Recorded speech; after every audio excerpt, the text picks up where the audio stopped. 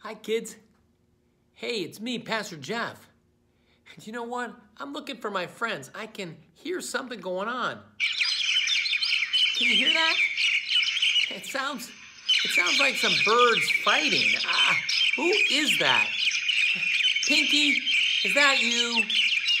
Pinky, is that you? Blue, is that you? What is going on?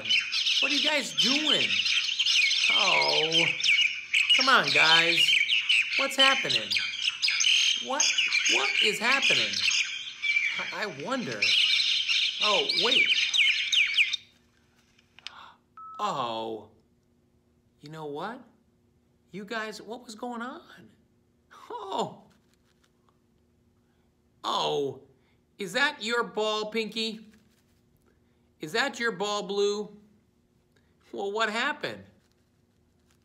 Well, you said you let Blue use it, right? But Blue broke it? And Blue, what do you think? Oh, let me see it, okay? Let me see. Let me see what it is, huh? Well, what is it supposed to do? Oh, it is? Okay. Okay, let me see if I need this. Okay, hold on a second.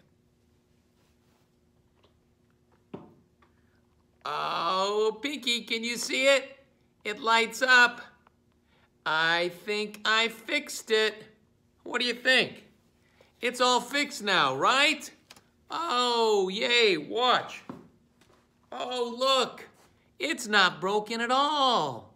Whoa, you know what today is? Today is Ash Wednesday. You should say, I'm sorry, please forgive me. Yes, that's right. We forgive each other. That's right. This one was a confusion because you didn't break it at all.